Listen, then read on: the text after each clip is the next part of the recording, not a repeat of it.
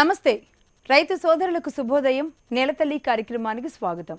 ఏ సీజన్లోనైనా అరటికాయలకు మంచి గిరాకీ ఉంటుంది. పైగా ఈ పంటను ఏ సీజన్లోనైనా సాగు చేసుకోవచ్చు. అరటిలో కేవలం పండే కాకుండా ఆకులు పిలకలకు కూడా మంచి డిమాండ్ ఉంటుంది. లాభాలు తప్ప దాదాపుగా నష్టాలు ఉండవు. కాబట్టి రైతులు అరటి సాగులో కాస్త జాగ్రత్తలు పాటిస్తే లాభాలు గడించవచ్చు అని వ్యవసాయ నిపుణులు సూచిస్తున్నారు. ఈ నేపథ్యంలో ఇవాల్టి నేలతల్లి కార్యక్రమంలో అరటి సాగులో రైతులు పాటించాల్సిన మెళకువలు తీసుకోవాల్సిన జాగ్రత్తలు ఏంటో తెలుసుకుందాం. పదండి.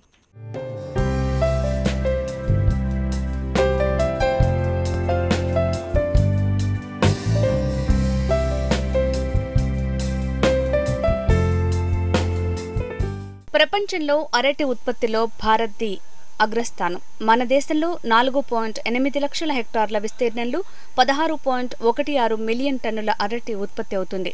అంతేకాక జాతీయ స్థాయిలో అరటి పంటదే మొదటి స్థానం. అరటి తెలుగు రాష్ట్రాల్లో విస్తృతంగా సాగవుతోంది.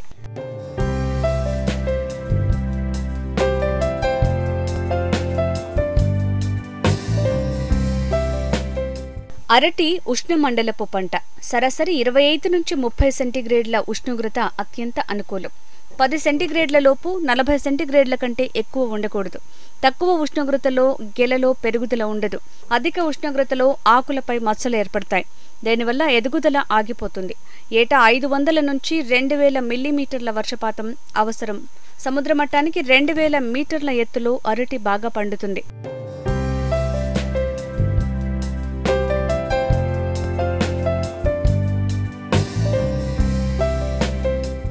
తగినంత నీటి సౌకర్యం కలిగి నీరు కుంగిపోయే గుణంతో పాటు తగినంత సేంద్రియ పదార్థాలు గల నేలలు సాగుకు అనుకూలం.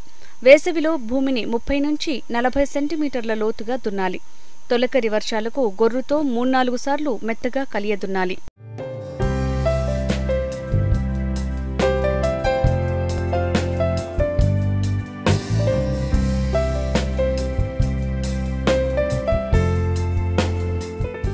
అన్ని పంటల్లాగే అరటిలో కూడా వివిధ రకాలు సాగులో ఉన్నాయి. వాటిలో కొన్ని కూరకు మరికొన్ని పండుగాను ఉపయోగించుకోవచ్చు. సాగులో ఉన్న అరటి రకాలు ఒక్కొక్కటి ఒక్కొక్క ప్రత్యేకత కలిగి ఉంటాయి.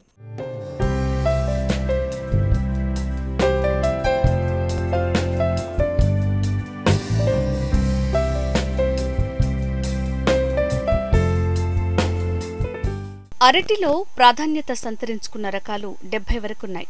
వీటిలో పది నుంచి పన్నెండు రకాలు మన రాష్ట్రంలో విస్తృతంగా సాగు చేస్తున్నారు. దేశవాళీగా సాగు చేసే రకాల్లో ముఖ్యమైనది కర్పూర చక్కెరకేళి సుమారు రెండు పాయింట్ ఐదు నుంచి మూడు మీటర్ల ఎత్తు వరకు పెరుగుతుంది. ఈదురుగాలులకు పడిపోయే లక్షణం ఎక్కువగా ఉంటుంది కాబట్టి తప్పనిసరిగా వెదురుతో ఊతమివ్వాలి కాలపరిమితి పన్నెండు నుంచి పదమూడు నెలలు కలిగి సగటున పదహారు నుంచి పద్దెనిమిది కిలోల బరువుగల గెలలతో హెక్టారుకు సరాసరి ముప్పై టన్నుల దిగుబడినిస్తుంది నీటి ఎద్దడి తట్టుకుంటుంది. పనామా తెగులు ఆకమత్స తెగుళ్ళను నిరోధించే లక్షణం ఉంటుంది.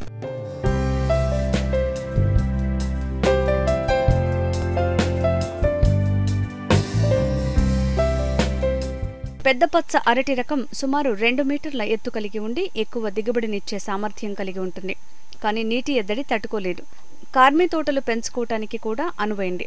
గేలల సైజు పెద్దగా ఉండి పండ్లు పొడవుగాను లావుగాను దృఢంగా ఉంటాయి.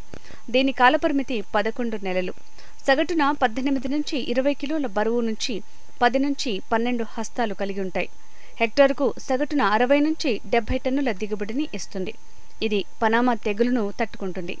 కానీ బంచి టాప్ ఆకుమచ్చ తెగుళ్ళకు తేలికగా లొంగిపోతుంది.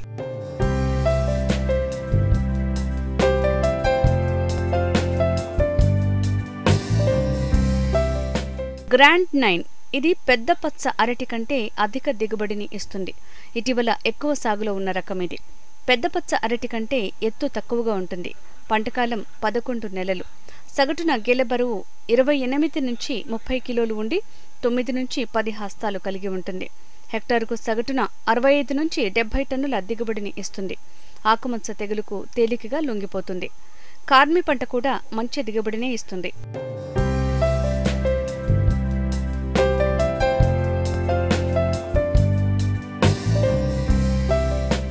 పొట్టిపచ్చ అరటినే వానకేళి బస్రాయి అని కూడా అంటారు. ఇది ఒకటి పాయింట్ ఐదు మీటర్ల ఎత్తు వరకు పెరిగి పొట్టిగా ఉండటం వల్ల ఎకరానికి ఎక్కువ మొక్కలు నాటి ఎక్కువ ఆదాయం పొందొచ్చు. గాలులకు బాగా తట్టుకుంటుంది కానీ నీటి ఎద్దడిని అస్సలు తట్టుకోలేదు.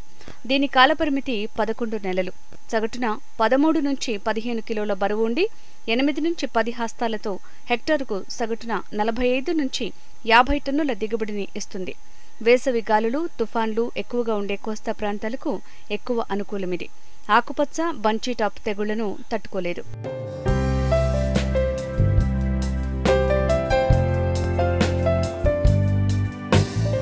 కూర రకాలు చూసుకుంటే మార్టమాన్ అరటిని అమృతపాని అని కూడా అంటారు. ఈ రకం వ్యాపార సరళిలో పండించడానికి చాలా అనువైంది.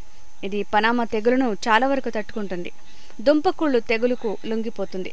సుమారు రెండు పాయింట్ ఐదు నుంచి మూడు పాయింట్ ఐదు మీటర్ల ఎత్తుకు పెరుగుతుంది గెల పద్దెనిమిది నుంచి ఇరవై కిలోల ఉండి సగటున హెక్టార్కు నలభై ఐదు టన్నుల దిగుబడిని ఇస్తుంది. కూర రకాల్లో కొవ్వూరు బొంత ప్రధానమైంది. సగటున పద్దెనిమిది నుంచి ఇరవై కిలోల బరువుండి ఐదు నుంచి ఏడు హస్తాలతో డెబ్బై నుంచి ఎనభై కాయలు కలిగి ఉంటాయి. కాయలు పెద్దవిగా లేత ఆకుపచ్చ రంగుని కలిగి ఆకర్షణీయంగా ఉండటం వల్ల ఎక్కువ ధరొచ్చే అవకాశం ఉంటుంది. కాలపరిమితి పద్దెనిమిది నెలలు. ఆకుపచ్చ తెగులును తట్టుకుంటుంది. బహువార్షికంగా పండించవచ్చు నీటి ఎద్దడిని తట్టుకుంటుంది. కానీ దుంపకుళ్ళు తెగులుకు లొంగిపోతుంది.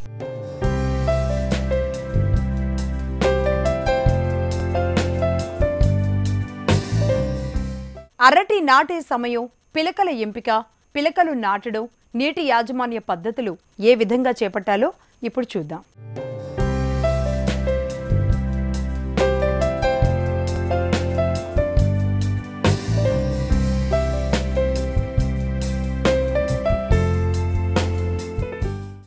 కర్పూర చక్కెరకేళి బొంత రకాలను సంవత్సరం పొడవునా నాటుకోవచ్చు. అయితే ఏప్రిల్ ఆగస్టు నెలల మధ్యకాలంలో నాటడం మంచిది. పొట్టిపచ్చ అరటి పెద్దపచ్చ అరటి రకాలను తొలకరి వర్షాలు పడిన తర్వాత జూన్ నెల నుంచి సెప్టెంబర్ నెల వరకు నాటుకోవచ్చు.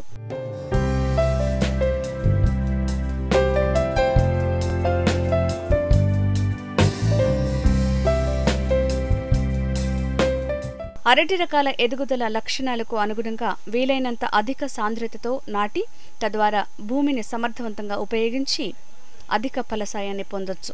జంట నగరాల్లో నాటేటప్పుడు వరుసల మధ్య దూరం తక్కువగా ఉండాలి. రెండు జంట వరుసల మధ్య దూరం ఎక్కువగా ఉండాలి. ముందు వరుస మొక్కలకు రెండో వరుసలోని మొక్కలు ఎదురుగా కాకుండా ముందు వరుస మొక్కల మధ్య వచ్చే విధంగా నాటాలి. ఎరువులు సిఫార్సు చేసిన విధంగా వాడాలి. అధిక సాంద్రతలో నాటినప్పుడు పంట కాల పరిమితి నలభై నుంచి యాభై రోజులు పెరుగుతుంది. వైరస్ తెగుళ్ళు సోకని ఆరోగ్యవంత తోటల నుంచి మాత్రమే పిలకలను ఎంపిక చేయాలి. మూడు నెలల వయస్సు కలిగి రెండు లేదా మూడు కోతలు పడిన సూది పిలకలను మాత్రమే ఎన్నుకోవాలి. గుత్తేదారుకు అప్పగించకుండా రైతు సమక్షంలోనే కూలీలతో నాటించాలి.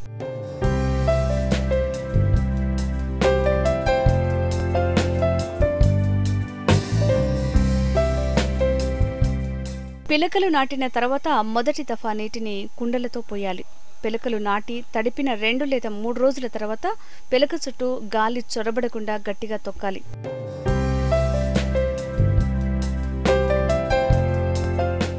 అరటిపండు కాలం భూమి వాతావరణ పరిస్థితులను బట్టి సుమారు ముప్పై నుంచి నలభై సార్లు నీరు పెట్టాలి. ఆయా ప్రాంత పరిస్థితులపై ఆధారపడి ఏడు నుంచి పది రోజులకోసారి తడి ఇవ్వాలి. ఉష్ణోగ్రత ముప్పై ఎనిమిది డిగ్రీల సెల్సియస్ కన్నా ఎక్కువ ఉన్నప్పుడు ప్రతి నాలుగో రోజు తడి పెట్టాలి. ఎరువులు వేసి ప్రతిసారి తేలికపాటి తడి ఇవ్వాలి. అరటికి డ్రిప్ ద్వారా నీరిచ్చినప్పుడు కాలపరిమితి ఇరవై నుంచి ముప్పై రోజులు తగ్గుతుంది. దిగుబడి ఇరవై శాతం వరకు పెరుగుతుంది.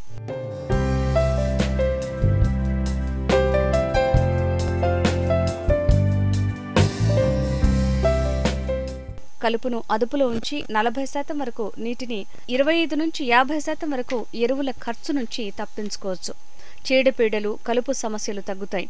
అరటి దీర్ఘకాల పంట. ఎక్కువ దూరంలో నాటడం వల్ల ఎక్కువ నీటి తడులు ఇవ్వటం వల్ల ఖాళీగా ఉన్న భూమిలో కలుపు పెరిగే అవకాశం ఎక్కువ. కాబట్టి స్వల్పకాలిక అంతర పంటలు పండించి అధిక ఆదాయం పొందొచ్చు. అరటి రకాన్ని నాటే కాలాన్ని వాతావరణ పరిస్థితులను బట్టి మార్కెట్ అనుకూలతలను గమనించి అంతర పంటను ఎంచుకోవాలి. అంతర పంటల సాంద్రత తగు నిష్పత్తిలో వేసుకోవాలి.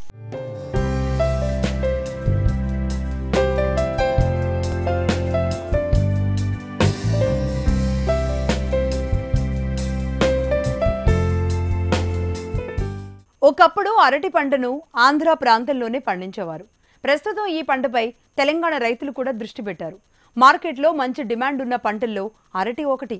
తక్కువ నీటి సౌకర్యం ఉన్న ప్రాంతంలో డ్రిప్ సిస్టమ్ ద్వారా దీన్ని సాగు చేసుకోవచ్చు. ఇందుకు ప్రభుత్వం సబ్సిడీ కూడా ఇస్తోంది.